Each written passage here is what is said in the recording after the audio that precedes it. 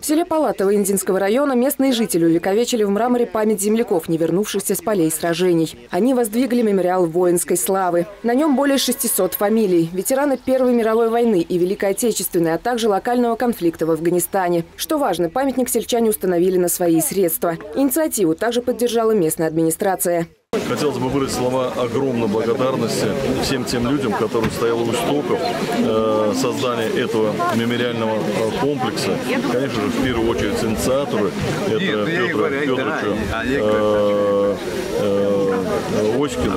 На открытии мемориала собрались почти все жители села. Присутствующие возложили цветы. Минута молчания традиционные залпы орудий сопроводили торжественную церемонию открытия монумента. Это память наших предков и память нам, нашим будущим поколениям, чтобы они видели, чтобы они чувствовали ту значимость, которая осталась на века.